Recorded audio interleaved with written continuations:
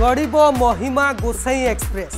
ମହିମା ଗୋସାଇଁଙ୍କ ନିର୍ଦ୍ଦେଶରେ ଭୀମଭୋଇ କରିଥିଲେ କ୍ରାନ୍ତିର ଉଦ୍ଘୋଷଣା। ସମ୍ବଲପୁର ଶାଲିମାର ଟ୍ରେନ୍କୁ ମହିମା ଗୋସାଇଙ୍କ ନାମରେ ନାମିତ କରିଥିବାରୁ ଭାରତର ପ୍ରଧାନମନ୍ତ୍ରୀ ନରେନ୍ଦ୍ର ମୋଦି ଶିକ୍ଷା ବିଭାଗ ମନ୍ତ୍ରୀ ଧର୍ମେନ୍ଦ୍ର ପ୍ରଧାନ ଅଶ୍ୱିନୀ ବୈଷ୍ଣବ ରେଲୱେ ମନ୍ତ୍ରୀ ଆମେ କୌକୁଣ୍ଠାରୀ ମହିମା ସମାଜ ତରଫରୁ ଆମେ ଅଶେଷ ଅଶେଷ ଧନ୍ୟବାଦ କରୁଛୁ। ମୋ ଜୀବନ ପଛେ ନର୍କେ ପଡ଼ିଥାଉ।